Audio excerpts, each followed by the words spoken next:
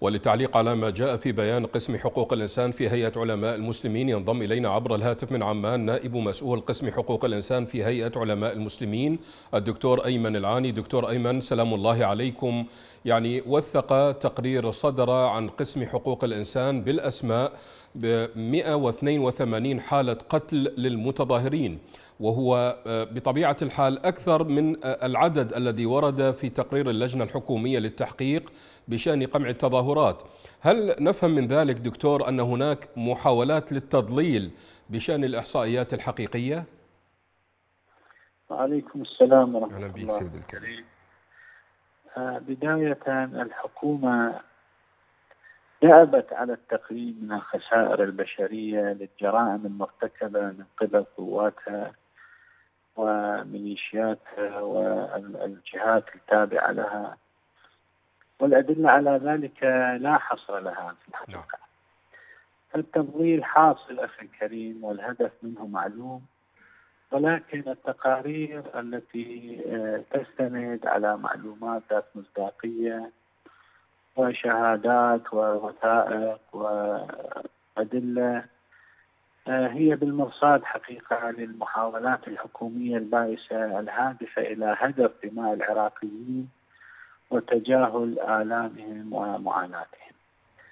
فهنا ال ال يعني جاء التقرير القسم ليثبت أن أعداد طبعا وهذا هو الجزء الأول من هذا التقرير. آه، هنالك جزء ثاني سيصدر قريبا إن شاء الله ويتضمن مع الأسف الشديد هنالك ضحايا يعني آه، يتضمن ضحايا آخرين نعم آه، سواء آه، الضحايا القتلى أو المعتقلين نعم. أو المختفين قسرا وسيكون هنالك تفاصيل كاملة إن شاء الله. طيب دكتور التقرير حمل الحكومة المسؤولية الأولى عن قتل المتظاهرين السلميين وذلك بإجراءات متعددة منها على سبيل المثال للحصر منع إسعاف الجرحى والذين كان من الممكن إنقاذ حياتهم فيما لو تم إيصالهم إلى المستشفى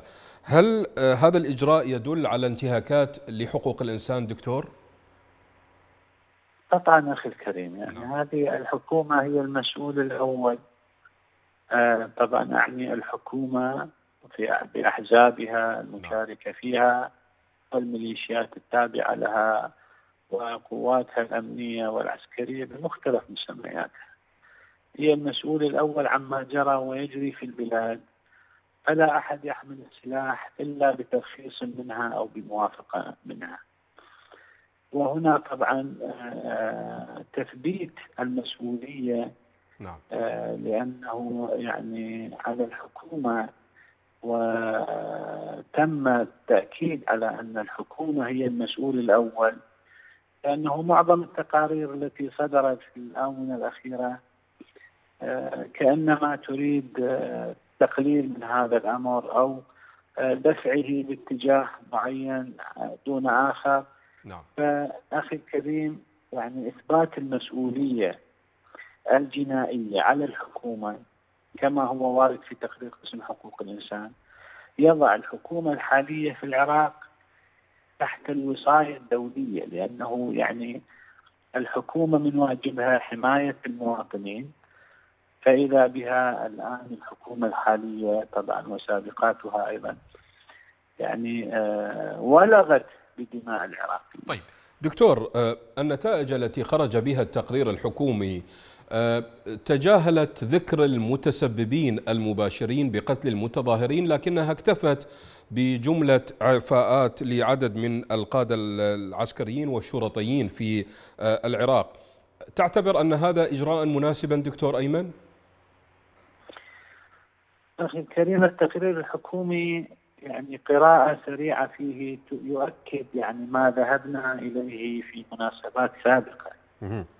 لأن مستوى التحقيق الحكومي يعني هذا المستوى آه، المتستر على جرائم الحكومة وقواتها الأمنية والميليشيات التابعة لها آه، هو نفسه يعني بنفس الوقت يكشف عن يعني الافتراءات والأكاذيب المعتمدة من قبل الحكومة في جميع التقارير السابقة الصادرة عنها نعم هذا ماذا يصب؟ يصب بأن يعني يعزز حقيقة أن الحياة الحياة مفقود بالنسبة للقضاء آه، بالإضافة إلى عجز القضاء عن مقاضاة المرتكبين طبعا الضغوط السياسية المعروفة طيب آه، دكتور آه، تقرير قسم حقوق الإنسان في هيئة علماء المسلمين يعني أكد من خلال البيان تعامل الحكومة مع التظاهر السلمي ما هو إلا فضح لحقيقتها القمعية الدموية، لكن لماذا يعني نراقب صمتا من المجتمع الدولي؟ ما الواجب فعله لكي لا يفلت المذنب من العقاب؟ هو الحقيقة في يعني يعني أنا أفهم الموقف الدولي اليوم باعتباره صدمة بين قوسين. نعم. لماذا؟ لأنه كانت الحكومات آه، في العراق تسوق نفسها في الأروقة الدولية وفي المحافل السياسية على انها حكومات منتخبة، حكومات لها شعبية، حكومات جاءت عن طريق الصناديق الاقتراع فيعني اليوم لا أحد يجرؤ يعني صمت المجتمع الدولي اليوم هو إدانة مبطنة للحكومة نعم. لأنه هذه أعتقد ستكون نقطة تحول آه، في الرأي العام الدولي التصرفات الحكومية وإظهار وجه يعني الوجه الكالح للحكومة الدموية الفاسدة الوالغة بدماء العراقيين وهذا سيغير من آه، تصور المجتمع الدولي للحكومة في العراق نعم. والأيام القادمة يعني ستبين لنا ذلك آه، بإذن الله تعالى. من عمان نائب مسؤول قسم حقوق الإنسان في هيئة علماء المسلمين الدكتور أيمن العاني شكرا جزيلا لكم.